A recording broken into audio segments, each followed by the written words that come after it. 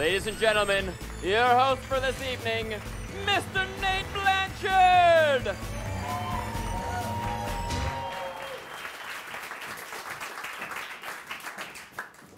What's up? Oh my god, how are you guys doing tonight? Where are my straight guys? Straight guys? Hey! I'm just checking to see who I can hit on after the show. Let me see some hands. Hand. Really? Fuck. Okay, anyway, anyway. I had this thing, um, straight women always come up to me, and because, like, let's admit it, my, my wrist is pretty limp. I'm gay.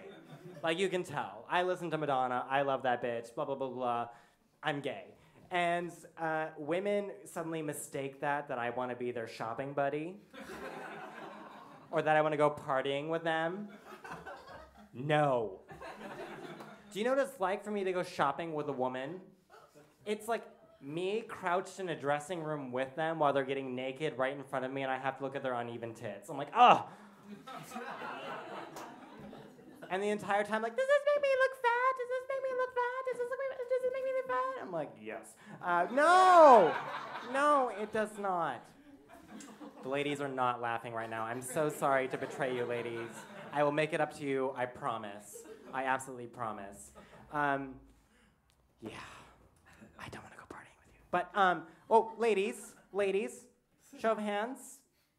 Come on. Hi. Hi, I'm a feminist.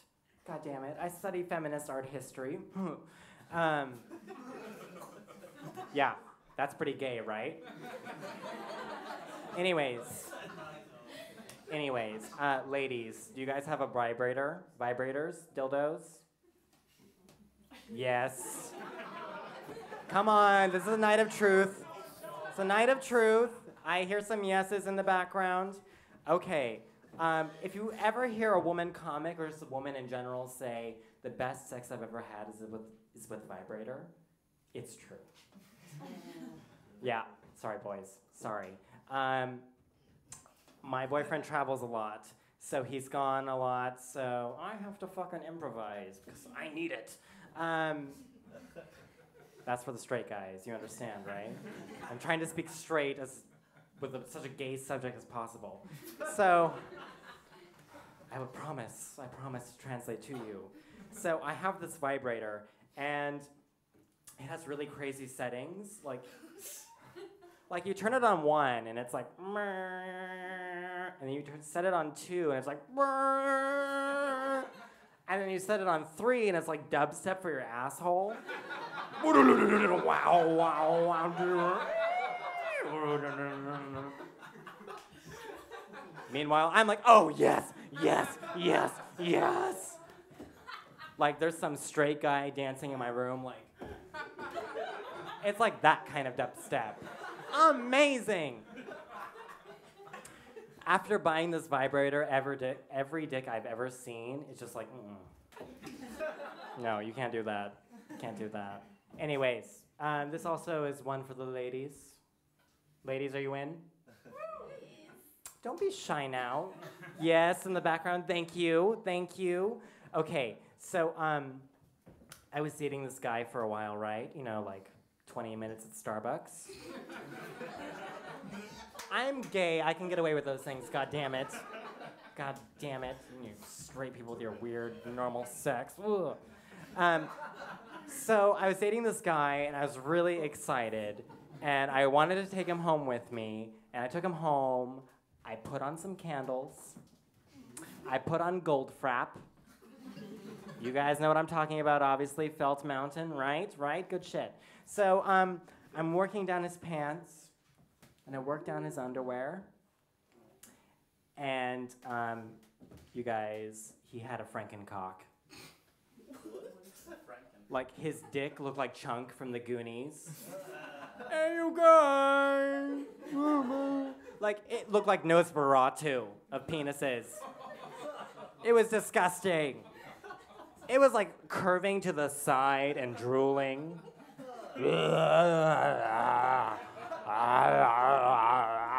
like Gonzo's nose. Gonzo's nose. These chicks in the corner are like, I know what you're talking about, girl. Oh, girl. Um, it was disgusting. I did not know what to do. I felt like a trout being pulled towards the light, like, oh. So,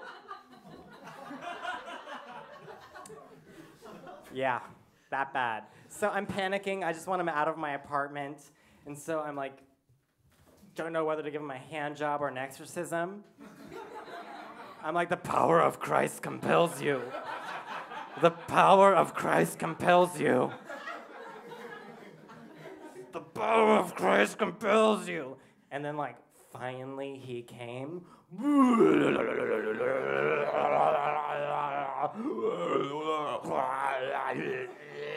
Angela Merkel.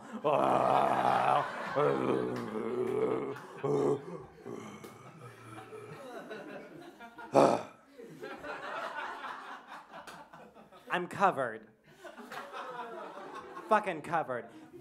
The candles have gone out. Fucking Goldfrapp is like, I'm out. No. Alison Goldfrapp has left. And I'm just, I'm, I'm sitting there and I don't know why, but I asked him, So, how was it? And he was like,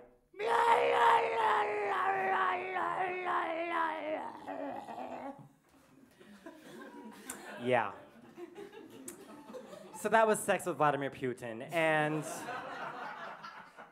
are you guys ready for your next comedy act?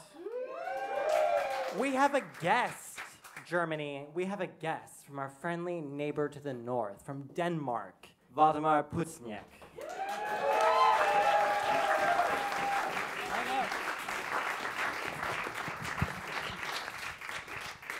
Hello.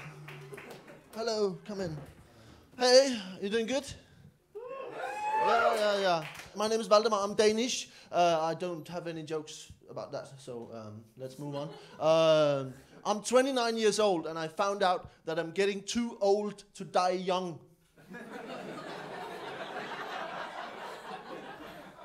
yeah. So if I died tonight, that would just be it. How, how old are you here? How old are you? 25. Okay, what's your name? Olivia. Okay, Olivia. Uh, if you die tonight, I'm not saying you're gonna die tonight, unless we all decide on it. Uh, no, I'm just. I'm, I'm just saying that I, I'm open for suggestions. You know, and of course, I realize now that a lot of you are Germans, so suggesting that a bunch of you decide to kill somebody this is a bit, I know. Uh, but that would be sad if they, if everybody else decided to kill you, right? this guy is not, doesn't think so. Like, no, I'm ready for it. Let's uh, let's have fun. Uh, comment, comment. Uh, we're not gonna do it. We're, maybe we're gonna do it, but I don't. It wasn't my idea to begin with. We don't. You're welcome. Uh, but if I died, that would just be it. Uh, and I, I think maybe people would meet up tomorrow and they would say like, "You heard about Valdemar? He died." R- really? Yeah, he just fucking died, man. Okay. Uh, isn't that a bit early? It's a bit young, right? Nah. No, you read about it in the newspaper in a week. Valdemar was torn away from us at a very fitting age. It was fine, it was fine. I learned, a a friend of mine told me that when men uh, reach 30 it's the point in their life when they peak sexually. As it is obvious to everybody here. Uh, uh, because that's the point in our lives when we're not as dumb as we used to be and we're not as fat as we're gonna be. It's like an optimal situation, everything getting coming together. It doesn't get any better. And I tell my girlfriend every night, I say, it might be bad now. It'll be worse tomorrow. I try to stay young. I try to stay young. I go on Facebook and I uh, comment on people that I don't know. Uh, So if uh, Josephine, 14 years old, she writes, I love my pony. Then I'm sitting at home thinking, uh, I better be a part of this. and what I do is try, I try, usually I try to start like a, a philosophical uh, debate on her uh, page. So I go in and I comment, and she comments back, and I comment, and she comments back, and I comment, and she comments back, and then I erase all my comments. it just looks looks like she's really fucked. I love my pony. Who are you? What? Oh, Carpe. What? Carpe diem. That's. oh. Yeah, you could use that if you want to. Um, I uh, just want to I'll tell you a story. I ran over a marten in uh, in my car the other day. Uh, if anybody not know what a marten is, uh, a marder, a marder, yeah, yeah. I researched. Screw you. Uh, I got it. Um, a, a marten. I ran over a marten. and and I think the problem for me was that I I didn't know what to do. You know, a real man would have gotten out of the car, checked if, if it was like uh, dying, and then finished it off with his teeth or something like that. But I stayed in my car and looked in the rearview mirror and I thought, I have to run this over again. and I did twice, back and forth. Uh, it was terrible. It was really terrible because I, as, I really didn't know if it was dying you know, I might might have just grazed its knee, like he might have been walking along like a marten, like minding his own biz thing. Like I don't know how they walk. Play along, come on. Uh, but he might have been walking, and I just uh, grazed his knee, and he's like, "What the fuck?" Maybe he was perfectly all right. He might even have had the best day of his life like just escaping like a marten prison, like a Shawshank Redemption, but with martens, like clawing his way out of the jail, hiding it behind a big poster of a really hot marten, with with big marten breasts.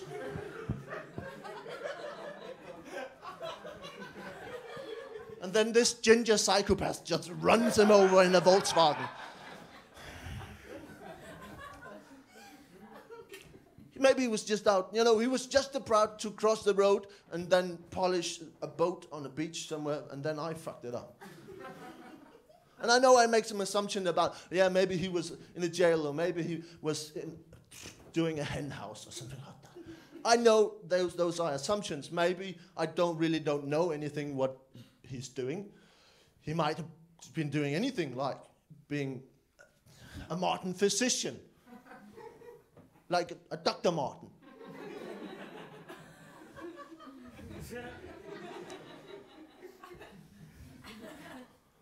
I don't know. Yeah. I think it's bad that I went from being like a, a merciful uh, ender of fairy life until, and, and moving into the area was now a cold-blooded murderer. And the really bad thing is that I don't even know if it was a marten.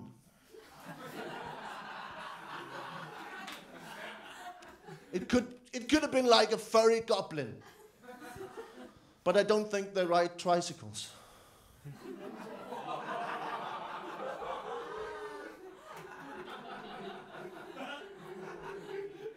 A sheep can recognize 51 other sheep. So if you have 52 sheep,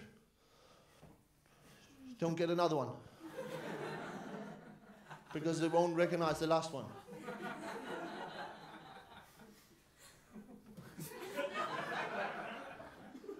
Just saying. And it can create some tension in the fold, you know, with the new sheep and the old sheep. Hey, man, who's, who's that guy? He's, he's eating our hay. What, what, what do you mean? That guy? Yeah, he's eating our hay, man. But it's, it's John. He's been here for like two months. John? Ah, John. Yeah, John. Who the fuck are you?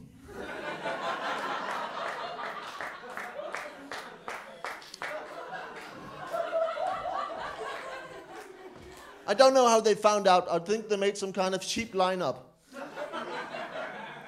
That's my theory. Uh, where they put 52 sheep in a row and then they brought in a test sheep, blindfolded, and he went, bah, bah, bah.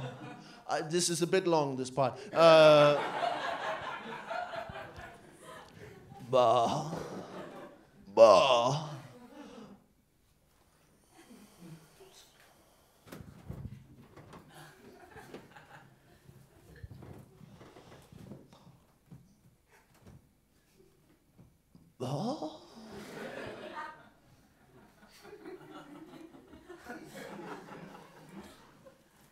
I um I have a girlfriend and uh,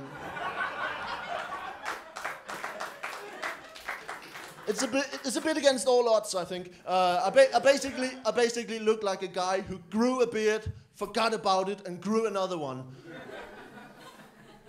That's me. Uh, but we are very happy, we're very much in love. But uh, relationship can really create hatred between people. When you're sitting at home on a Friday night and it's raining outside, and you just look at each other and think.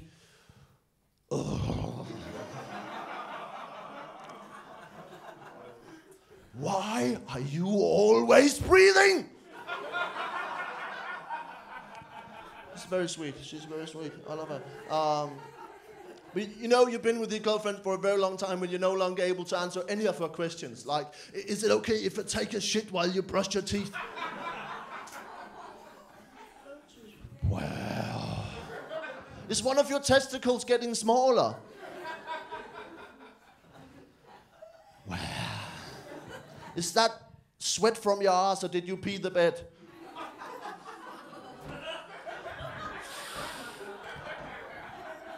Think it's a bit of both. I don't know. Before, bef- uh, I, before I leave you, before I leave you, uh, I lived in South Africa for six months. Uh, not, not before I leave you, but now it's not like I'm gonna, you know, before I leave you, I'm gonna live in South Africa for six months. That's gonna be a pretty long show, uh, and a boring show, I think. Maybe, maybe it could be interesting. Me just leaving now you staying here for six months and then me coming back to finish off this joke. But again, no. I lived in South Africa and a man tried to sell me an ice cream uh, in the street. He came up to me and he said, "Oh, You look like you like ice cream. and he might be right. Uh, I looked at him and I said, You look like you like poverty. And I stole his ice cream. My name is Valdemar. Thank you so much for your time.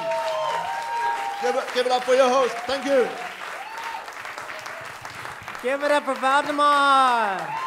Yes! Yes! I just have one thing to say. Thank God he has a girlfriend. um, and thank God I have a boyfriend. Um, very funny story.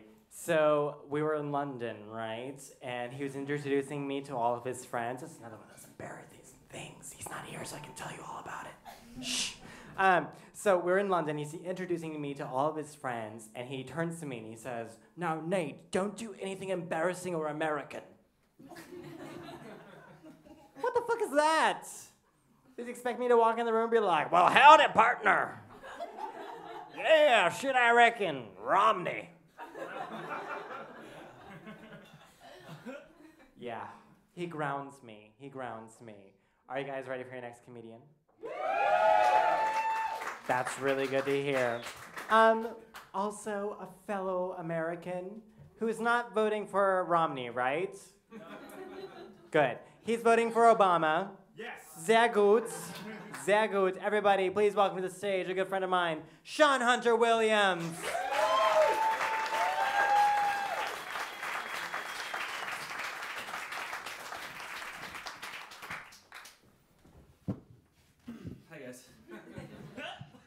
Hey. It's really great to be here. Um, really glad you guys all came out.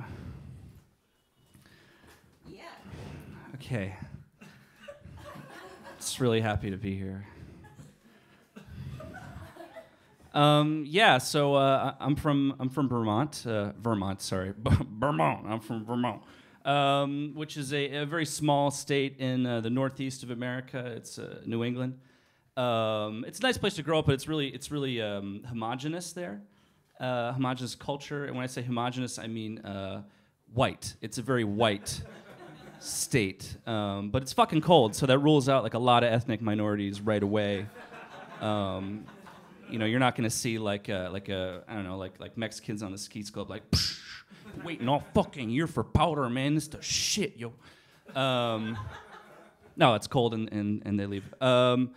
There are well, there's some uh, Mexicans in Vermont. They come up and work uh, on the farms in the summertime, and then they they leave because it gets fucking cold after that. Um, and uh, I could just kind of picture that that kind of conversation with um, you know at, at the end of the season with the farmer. There's Farmer John and says, "Hey, Sanchez, go, Ralphie, you go. Guys are great workers, man. Thanks a lot. Thanks a lot for, for coming out, and I hope to see you next season too." So uh, where where you uh, where you going back to? Like, oh, actually, man, we fucking work in like a hotel in Cancun. We work, we uh, live in Cancun, and we work there in the winter time and come here in the summer. Said, wow, so you so you live in Cancun? yeah, yeah, man, that's where I'm from. That's where I live. And so-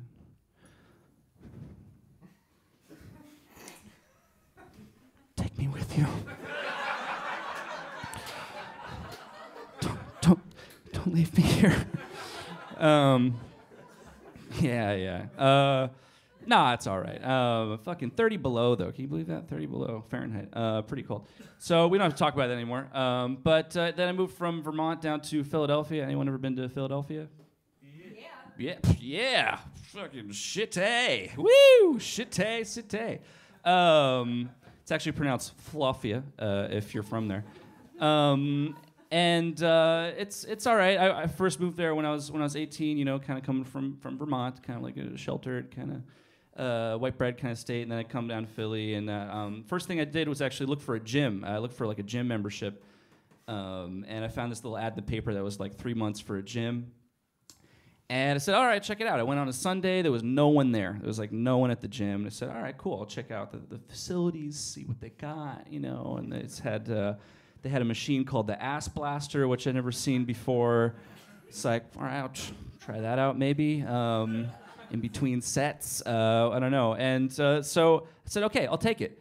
And I came back uh, the next day, and it was fucking packed. There was tons of people in there and I was like, Jesus, there's a lot of really buff guys, like a, r- a lot of really like really strong dudes, you know, walking around there. And I was like, oh man, it's kind of like kind of a weird like superficial kind of competitive atmosphere. You know, they're all tan and well groomed and wearing real tight shorts and stuff. And you know, I'm just kind of walking around like whatever. And I I find my spot and I. I'm walking past like uh, one of the machines and I, and I just kind of eavesdropped in the conversation a little bit and one of them was like, I mean, so I really just don't have to take that from him on the first date. I mean, really, I don't even know you. Like, who do you fuck do you think you are?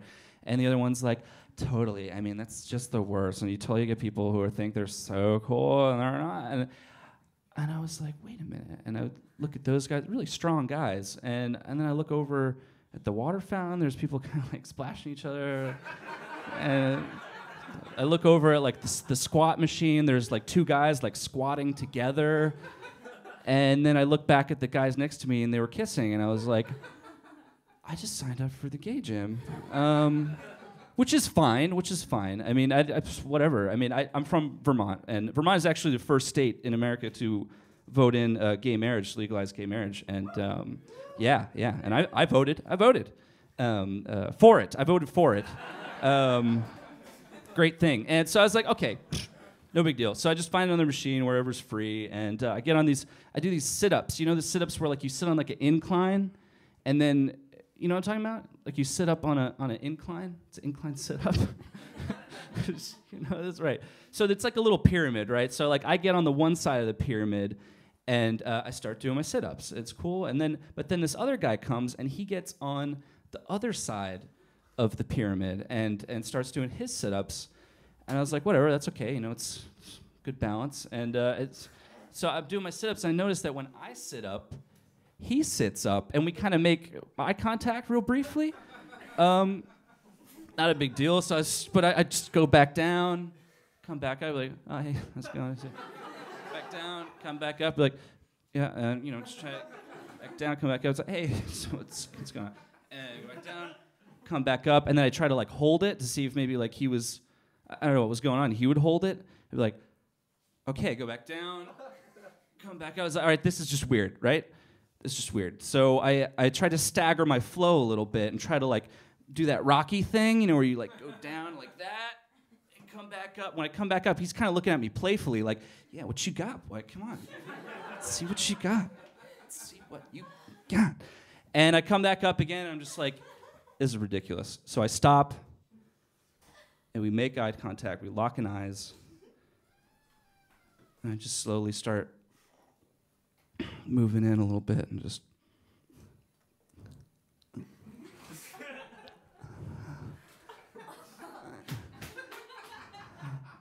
And we made out. So we made out on the sit up machine. And I'm just like, whew, I get a kind of a rush. So it's like I go to the shower. So I go to the shower. I was like, this is not me, you know, I'm usually very shy. Um, and so it's so whatever. So I, I just, I leave after that. And I come back the next day. And uh, I see him again on the sit up machine with some other guy. And I'm just like, what the fuck is this? And I go over to the machine. I march right over there. I'm just like, what are you doing? What are you doing? And he looks up. He's like, "Wait, wait, what are you talking about?" And I was just like, "Who the fuck is this?"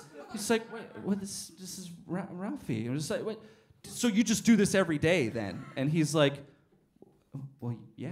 And like, "Slut," and it's. And then I went over to the fucking ass blaster and I was like, "You piece of shit! I'm sorry you left me. I'm gonna look so good tomorrow. Sorry you fucking fucked this up." Um, nah, whatever. we never talked again. Um, uh, but yeah, so you know, it's, uh, there's things I miss about the gay gym though a little bit. You know, like you, you could always get a spotter uh, whenever you want. You know, just kind of sit up and you get a spotter. And uh, it's not only that, but you get a spotter with a, a side of encouragement. You guys are looking at me like, what the fuck is a spotter? Do you know what a spotter is? It's just someone like if it's too heavy, they'll like pick it up for you. So if you're lifting something it's too heavy, you're like, Ugh, they're like, okay, and they lift it for you. So you can always find a spotter, and uh, you go, you don't, you get a spotter with a side of encouragement. So it's not just a spotter. It's uh, it's a spotter with of encouragement. So it's like I remember I was like I said this one guy was like, all right, I want to do ten, and he goes, okay. So you know I go uh, nine, ten, and he goes, uh uh two more, bitch. And I was like, what? Holy shit! And it, eleven. 12 and I get up and I was like, wow, I didn't know I could do that. And he goes, good job. And send me on my way. I was like, all right, thanks. Um, so I missed that. I missed that. I do. Um, so then, obviously, I live in Berlin now. Berlin's great. Uh, you know, I do various jobs around here. Last thing I was doing was like making models and props for a movie, like making like like puppets and shit for a movie. It's like a horror movie. Um, and if anybody, if you guys work in film, like any of you guys work in film at all? No, well, obviously you, you guys do. But um, the uh, if you work in film in Germany, it's like it's like the the krasseste Denglish. It's like this mix of English and German. Like the, my boss would come over to me and he's like, ja, also mit dieser Creature musst du, es muss wirklich scary wirken, weißt du? Das ist das ist kein kein Puppet wirklich. Das ist das ist eigentlich das, dieses Feeling muss rauskommen, weißt du? I'm just like. the fuck are you talking about, man? He's like, ja, also von vorne her ist es gut, aber jetzt geht's mehr, mehr um Durability, weißt du? Also es, wir crashen das Ding durch die Wand, weißt du? So, es muss wirklich so, muss stabil sein, aber es hast auch deine Freedom, weißt du? Es ist wirklich up to you. Like, man, pick a fucking language. Confusing the hell out of me. Like, what am I gonna do? Um, but it's nice living in Berlin. I live in Neukölln. Um, I, I love all the street art around here and all the like random stickers and shit you see. You ever seen these stickers around here that say like uh, "fuck yoga"? You seen that? no, anybody seen that? It's like there's these stickers you walk around. It just says in, in bold black font like "fuck yoga," and uh, I saw this and I saw, I saw it was hilarious. And I, I sat down and I wanted to watch like what other people thought when they walked by. And people would just walk by or laugh or a bit pissed off. But some people would walk by and they'd like start staring at it like, what the. F- what is like you know and i was thinking like what the hell are they looking at what are they looking for and uh, th- it just i realized they were looking for like the date and the time they're like oh, fuck yoga where's that like i've never done fuck yoga before i don't know Get involved. Um, all right, thanks for your time. Uh, my name is Sean. We'll see you guys later. Take it easy. Oh my god. Sean's gym sounds amazing. Is it American Fitness on Hermannplatz? Because I've been going there for months and nothing, just sweaty people in the sauna. Um, that's all right. Are you guys having fun? That's so good to hear. That makes my life so uh, happy. Are you guys ready for your last comedian? Cool. Cool. Um, he actually was just at the Fringe Festival in Scotland, which is a really big deal for comedy. He's absolutely funny, and um, he has a sexy Scottish accent. Ow, ow! You ready? Yes! Give a huge Neukölln welcome for Chris Davis.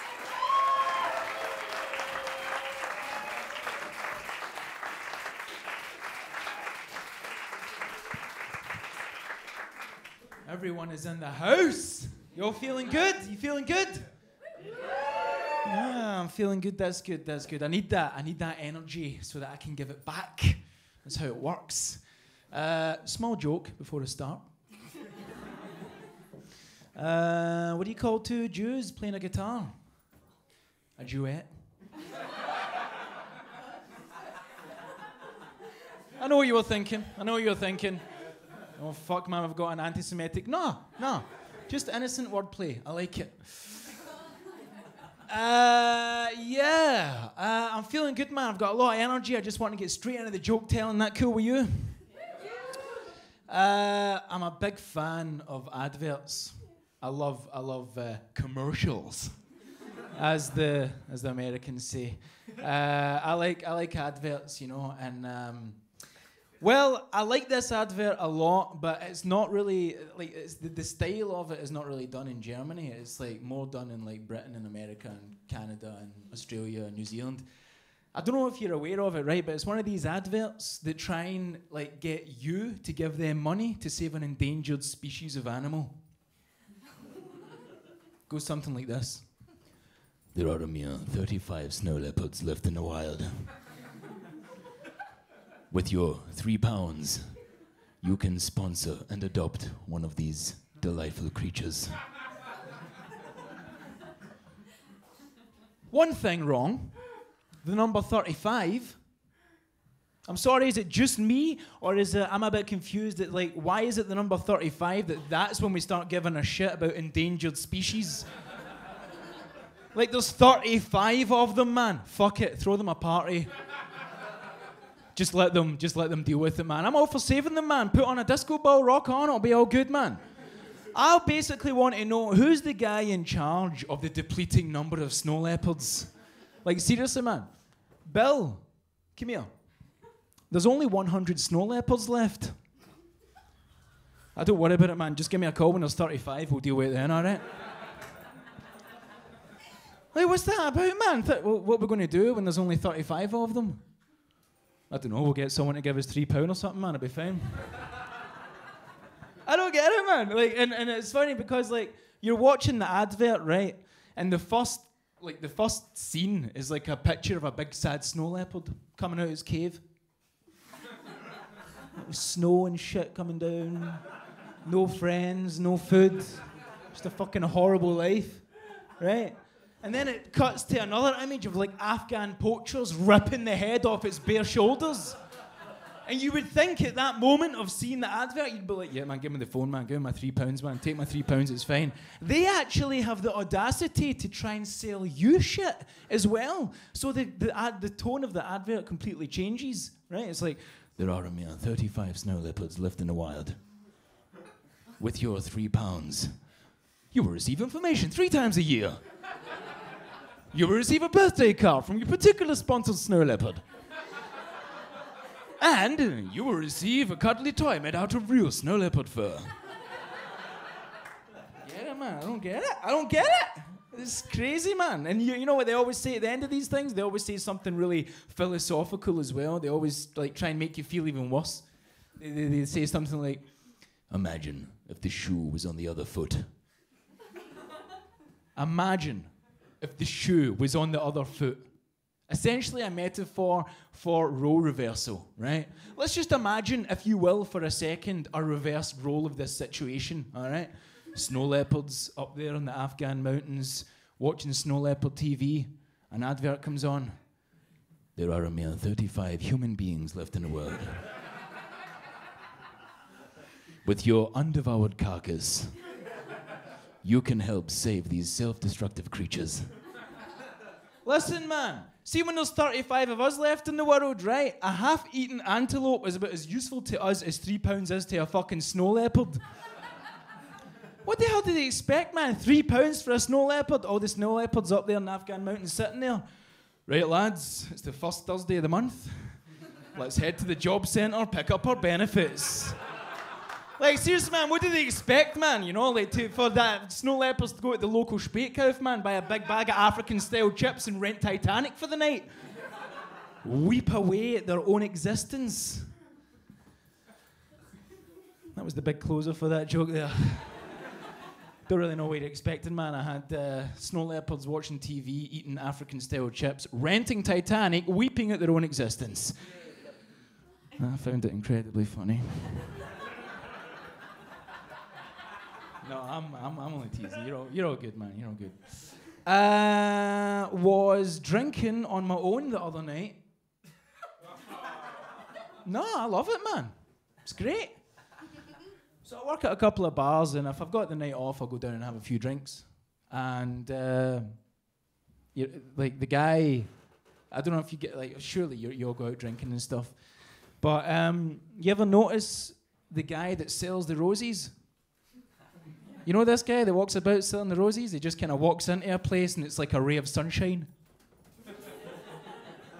I was sitting there, sitting there, like just like chilling out, drinking and stuff, and this guy like walks in. He's the happiest guy in the world ever. I'm like, Jesus Christ, man, this guy's fucking happy. Like all these guys that sell the roses are, man. I think I know why. All these guys, I've got like a PhD in behavioral science. Oh, seriously, man. Those guys can pinpoint a new couple from about a kilometre away. Just walks to the place, right? So anyway, this guy comes in, right, and he's all happy and shit. And there's a there's a new couple that are sitting in the corner, right? And they are a new couple. You can just totally tell.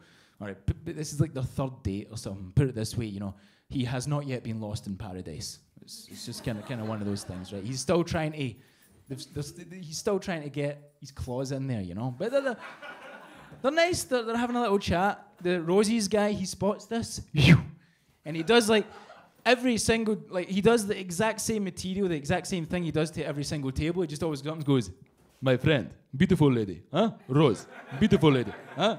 Come on, beautiful lady, huh? Rose." Now you can tell, I can tell that she's kind of sitting there thinking, "Oh my God, how embarrassing! This guy's trying to tell, try to sell me roses, but." It would be nice to get a rose, actually. you can tell he's sitting there thinking, I wonder if I buy her a rose, she'll let me have sex with her. How much? Five euro. Five euro, my friend. Five euro. So cheap. Five euro. I can tell at this point she's like, he better think my love is worth more than five euros, by the way. and he's sitting there thinking, her vagina better be worth five euros. So he buys a so he buys a rose, and uh, and the roses guy continues uh, his journey through the bar, and he goes to every single person and offers them a rose, except me. Exactly. Let me tell you something, man. There's nothing worse than being alone, drunk, and not even the guy that sells the roses will talk to you. Just walks right by you. You're like, what the fuck? So he was leaving, and I looked at him, like I kind of glanced at his eye, and I caught him, and he caught mine. And he was like, Rose? I was like, man, what the fuck makes you so happy? This is ridiculous. What makes you so happy, man? He's like, roses. Are you trying to tell me, man, that all that shit, your fucking, all your positivity in life, all your good energy just comes from you selling roses? He's like, yes. I was like, all right, give me one of those fucking roses, man. Give me a rose. I'm not giving you five euros for it, man. I'll give you one euro. Right? So I took a, I took, took a rose off him. And lo and behold, I was sitting at the bar, happy as Larry. I was like, then after like four seconds, that happiness faded into nothingness. And I was like, listen, man, that was all very nice and all, you know, but it never lasted very long. What's that all about? He's like, my friend, one rose is one moment of happiness. but many roses, huh? Many moments of happiness. Huh? The bastard was trying to shark me, man. He was trying to fucking goad me into buying some shit. I was like, all right, man, give me all your rosies. Here's 20 euros. See you later, man. Literally sitting on the bar. He's so happy, man. I was fucking ecstatic. And then, like, you know, 30 seconds later, I was saddled in a bastard.